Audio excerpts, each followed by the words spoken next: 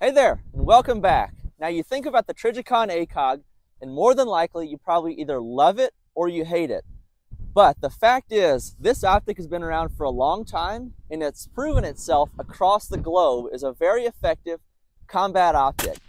Now, if you saw my combat optics review that I put out about a month ago, you notice that I didn't choose this as my favorite optic for a fighting rifle, say for zero to 300-ish yards. Reason being is up close, the fixed bore power and the Bindon aiming concept just isn't that fast and isn't that easy to use for me. But that said, I do believe the ACOG is a great optic on something like this rifle, a 14 and a half inch kind of general purpose rifle that you're looking to shoot out to intermediate distances frequently. I feel like the ACOG is a very effective optic for quickly and accurately ranging your target and then putting rounds on that target. Now, what I hope to do in this video is give you a look at how the optic performs on what I would call a general purpose type carbine. I want to use this 4-power TA31FG ACOG and put rounds on steel from 300 out to 800 meters, as well as show you what the rifle and the ACOG are capable of at 100 meters. I think this is really the sweet spot for this optic, and I think it's going to show really well as we push out the distance on steel. So in this video, what you're gonna see is a 100 yard group. Then I'm gonna move over to steel at 300 meters, 400, 500, all the way out to 800 meters, or until we can no longer make consistent hits. So if you like the sounds of that, stick around. Let's move into a gear review, and then we'll move into the shooting. So before we start shooting, let's take a close-up look at the gear we're gonna run in the video. For a rifle, I've got my Knights SR15 SBR lower with a Knights two-stage trigger in it. Then the upper is my SOPMOD Block 2 clone upper. So this started out life as a Colt 6920, but I swapped the barrel out for a 14 and a half inch Colt SOCOM weight barrel. So it's a little bit heavier under the handguard, and in my experience, is a pretty great shooter. It's a one in seven twist barrel, and if you saw my AR0 video from a couple of weeks back, this is the exact same upper that we ran for that video. Now to remove shooter error, we'll shoot prone off of the Accutac bipod and using a rear bag at each distance. Now the optic we're gonna run is a Trijicon ACOG TA31FG. So that's a fixed four power ACOG with a green chevron reticle and then a BDC down below that goes out to 800 meters. Prior to filming this, I confirmed with Trijicon that BDC is calibrated in meters for M855 ball ammunition out of a 20 inch barrel. Now because I'm shooting a 14 and a half inch barrel, I don't have as much velocity. So as we push out to distance, I'm gonna have more real drop out of the bullet than the BDC calls for, meaning I'm gonna have to favor high, likely at the further distances. Now it's pretty cool, on the Trijicon website, they actually publish the dimensions of the BDC for each of their ACOGs in MOA.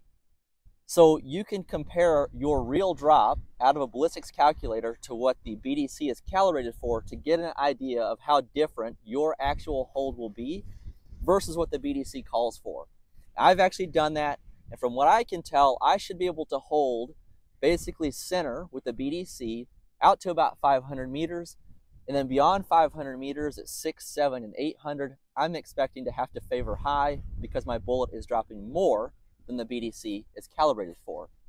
So what are we going to shoot for ammo?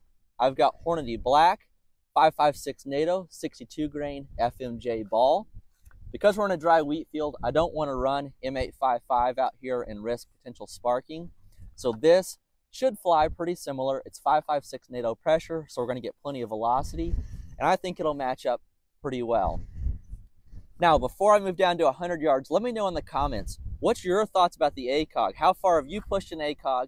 How far do you expect me to be able to effectively push an ACOG? I'm really excited about this one because I think this ACOG on a 14 and a half inch AR is a perfect match for a fighting rifle where you're looking for intermediate capability or intermediate distance capability. So from here, let's move down to 100 yards. I can't wait to see how the 62 grain ammo shoots out of this rifle, especially if you compare it back to the 3 MOA performance we saw with the 55 grain ammo in the zeroing video. I'm thinking this is going to be a solid performer, and then we'll push it out to distance. So let's get after it. So here we are back at 100 meters. Let's go ahead and put five rounds on paper to give you an idea of how this Hornady Black 62 grain FMJ groups on paper, as well as confirm my zero. Five rounds, 100 meters. I'm gonna put the tip of the chevron right in the middle of that one inch black dot.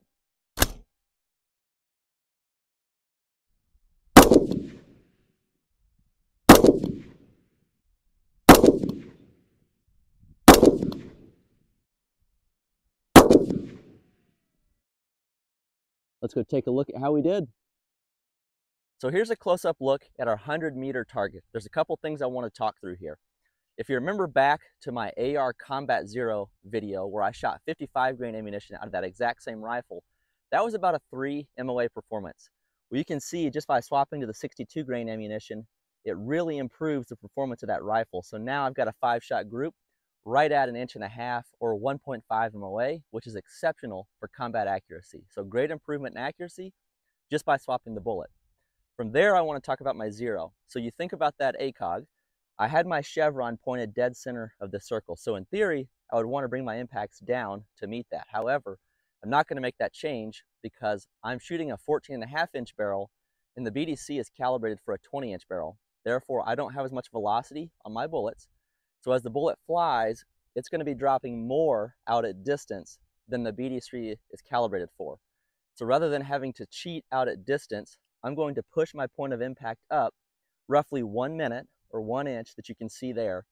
And that way, as I push out to distance, my BDC is more accurately going to track shooting these bullets out of my 14 and a half inch barrel, even though the BDC is calibrated for a 20 inch barrel. So a little bit of a cheat here, we won't notice it at the shorter ranges, but I think it'll really make it easier to connect at the longer distances. So we move back to 300 meters. I've got a two-thirds IPSC down there, and I've got five rounds loaded up. Let's see how easily we can connect on a reduced size IPSC at this distance. So for 300 meters, I'm going to use the post that sticks up in the middle of the chevron. And there's absolutely no wind out here, so I'm gonna hold dead on here we go.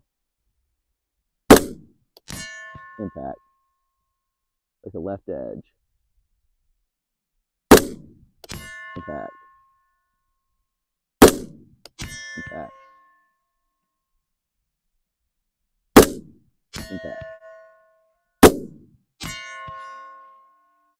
Impact. Very easy on a reduced size torso. Let's take a close-up look. So here we are at 400 meters. I've swapped to a full-size IPSC, which is 18 inches wide, and matches up with the width of the range finding stadia within this ACOG BDC. It's pretty cool. It's basically spot on, which is what you would expect. So for 400 meters, elevation-wise, I'm gonna hold dead center. Windage-wise, I'm going to probably favor just a bit to the right, but not off the plate. I see that wind flag is pushing a bit left. So let's go ahead and put five rounds down there using the 400 meter hash mark.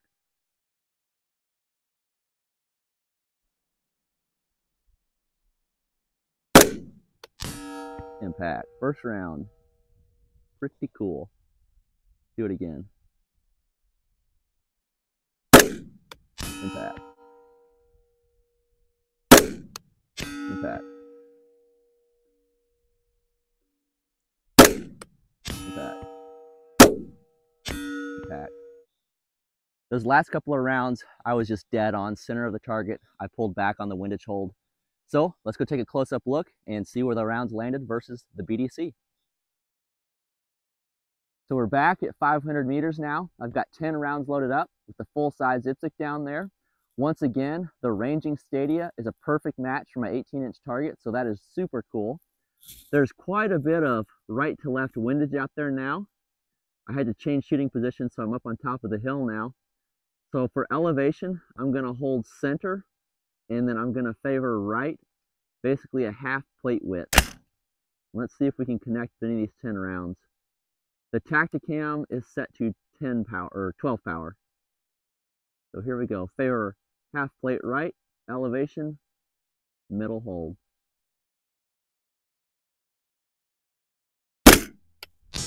Impact, first round.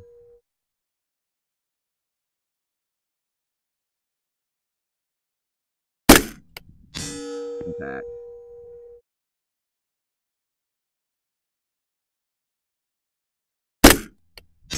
Impact.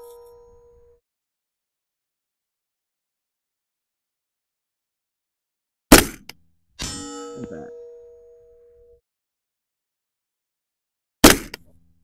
Impact.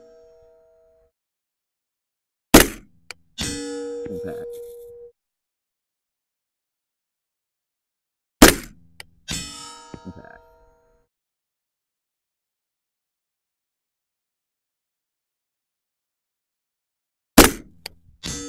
Impact.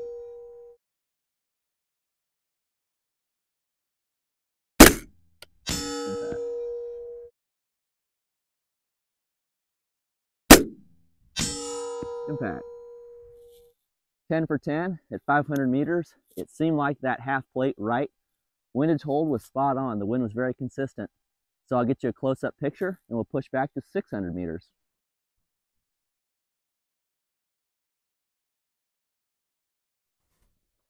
All right, so that range is about 605. I've got 10 rounds loaded up. Let's see if we can connect. Now, once again, the width of my stadia in the ACOG for 600 meters is just about spot on for the width of my 18 inch target. Now you noticed at 500 my impacts were dropping a bit low. So at 600 I'm going to favor up at the shoulder and I'm going to favor a half plate to the right for this first round. Actually right edge for the first round. Shoulder elevation.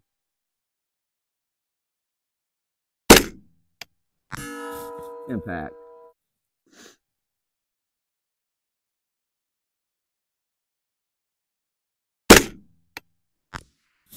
off the left edge.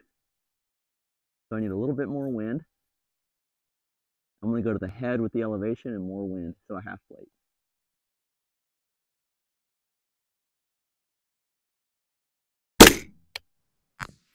Off the right edge, elevation looked good. Impact.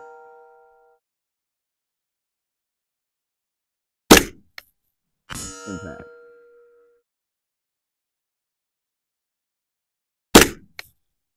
impact.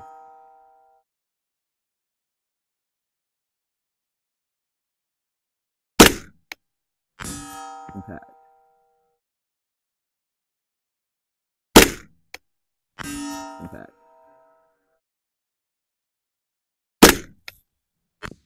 Off the left edge, a little more wind.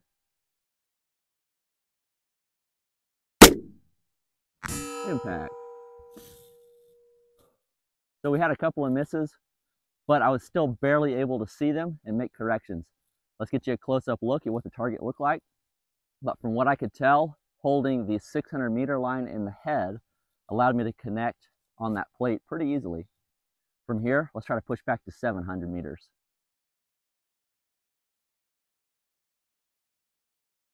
All right, so I'm getting that right at 703 meters, which is what I was trying to do. Let's see how our width Stadia lines up on that 18 inch plate. And it looks like that 700 meter hash is perfect as it should be. But man, that is a small target with not a lot of zoom. So I got 10 rounds loaded up. We were starting to see my impacts push low on the plate. So I'm going to put the 700 hash just above the head. And I'm going to favor right edge of the plate.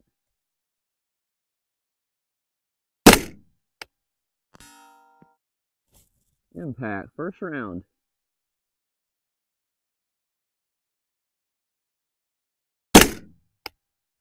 Impact.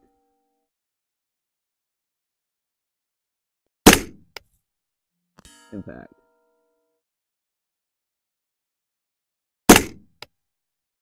Impact. So I am just over the head, maybe six inches most over the head.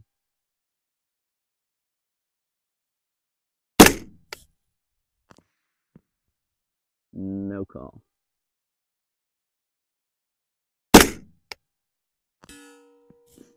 Impact.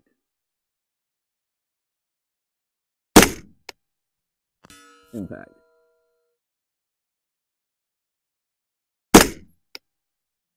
Impact.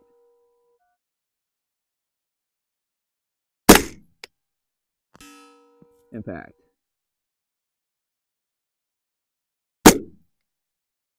Impact. That was a lot of impacts at 700 meters with an ACOG and 62 grain full metal jacket, but we've got perfect conditions out here tonight. Let me get you a close-up look at the target and let's push out and see if we can connect at 800 meters. This is a lot of fun.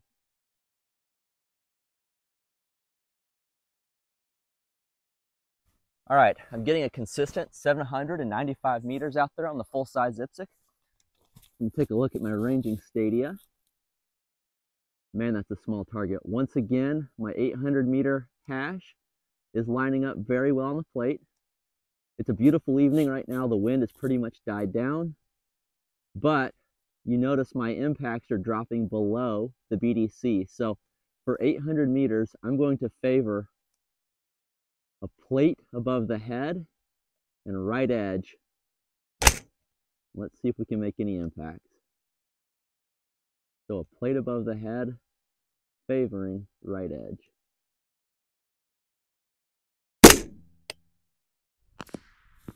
All right, that dropped just off the left edge. So elevation looked good.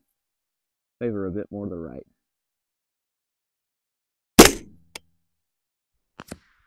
Drop low.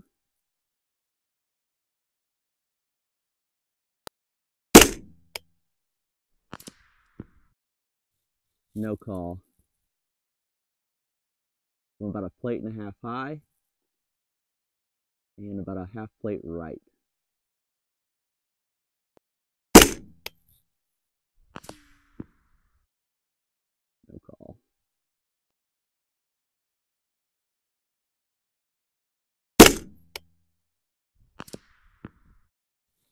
No call on those guys. That's tough.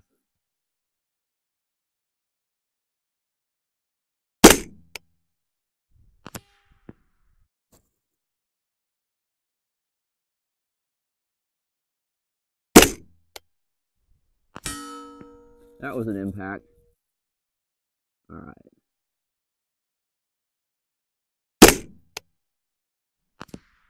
Dropped low. I saw that one.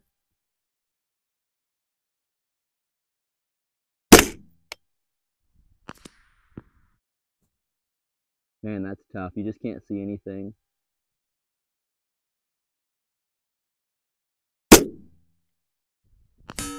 And that was an impact. So there was at least two impacts that I saw, but really difficult because I couldn't see my misses. And I was holding above the target in space, so it was hard to reference that the BDC wasn't actually on the target.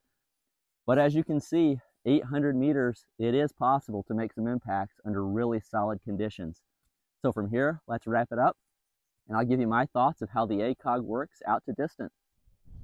So how cool was that? 800 meters with a 14 and a half inch 5.56 AR shooting 62 grain ball ammunition topped with a 4 power ACOG.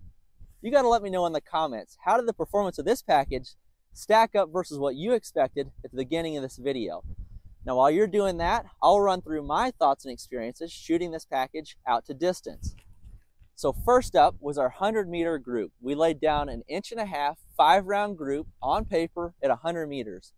In my mind, this ACOG and the Chevron provided a really nice aiming point. I was able to shoot an inch and a half group, which is great for a combat type rifle. That's awesome accuracy. And if you think back to when I shot the AR-0 video with the 55 grain ball ammunition, that was only able to achieve about a 3 MOA group. So just bumping up to the 62 grain ammunition, cut my group size roughly in half, and as you saw in the video, allowed me to really push the distance with no problems. From that 100 meters, we then pushed out to steel. We shot a two-thirds IPSC at 300 meters, no problem. The BDC was pretty much perfectly aligned. Then we moved out to a full-size IPSC at 400 meters, and once again, we had no problem connecting with those five rounds. And again, the BDC was very much correct.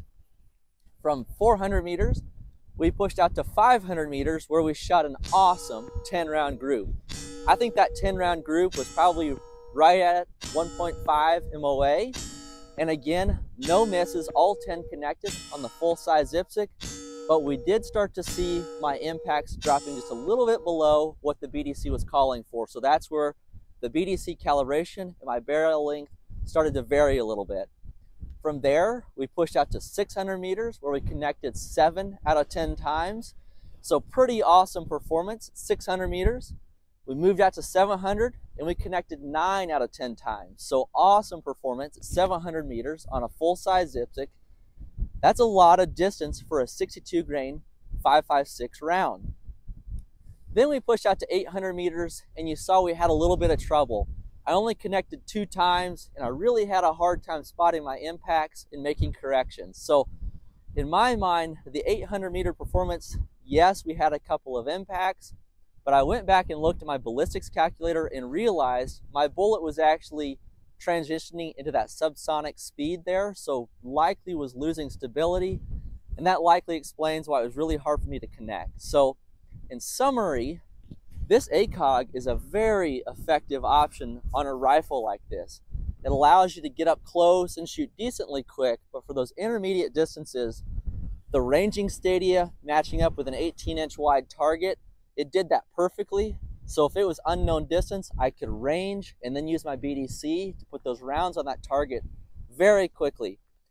The 4 power allowed me to see the target very well. It allowed me to spot impacts pretty decently out to six, 700 meters, so long as there was a decent splash or the indicator light. So really like the glass in this, beautiful field of view. This ACOG is a great option for someone looking to shoot maybe 100 to 6 or 700 meters. So it's not the best up close. Would need to pair it with a red dot for that. But for intermediate shooting, I love how simple it is and fast it is to range and shoot. It's a great package. It's light. It's really handy. I'm a huge fan of the ACOG on this type rifle. So if you like this kind of content, I hope you'll join me in future videos. I hope you'll help me grow my channel by liking, commenting, and subscribing on this video. And I'd love you to hit me up on Instagram at Mountains Mullets America. That's a great place for us to interact through the direct messages. I've had a lot of great conversations with many of you about various shooting topics, and I really enjoy that interaction. So, that said, if you've made it this far, I thank you for sticking around. I hope you'll join me in my next video, and thanks for watching.